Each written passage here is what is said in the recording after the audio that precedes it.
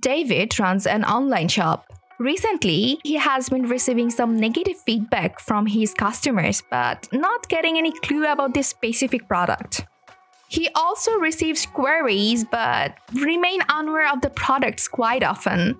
If you're running a business, you may also face the same issues as David at some point.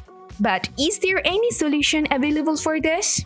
Fluent Forms has an input field that's definitely gonna solve this at once and for good. Before we show you how, make sure you are subscribed to WP Manage Ninja and stay updated. Alright, let's get into it.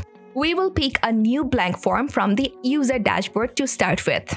To know who is registering a complaint or requesting a query, let's take a name and an email field. You can make these fields required so that no one can leave them empty. Moreover, users have to attach a well-formatted email while submitting the form.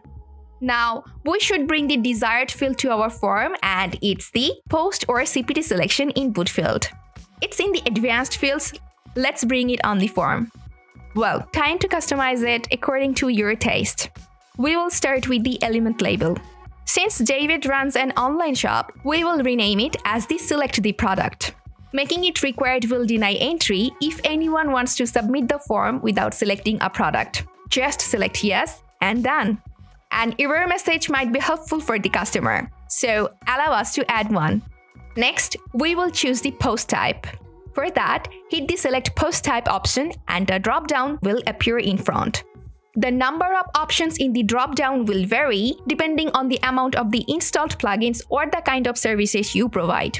Just pick the one that matches your criteria. Here, we will go with the product. You can choose one from the list by default, but if you want to show multiple criteria, then you have to use extra query parameter. We will provide the documentation in the description box. Time to set up the submit button. Let's rename the button text and tick on any of three options to set the button size.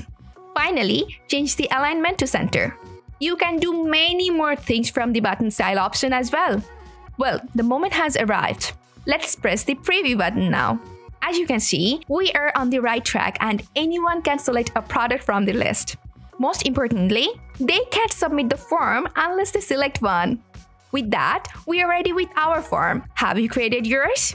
You know, the simpler the better, and David definitely has an easy and simple solution to his problem. Stay connected with us, and who knows, you might end up finding a solution to every WordPress related issue you have.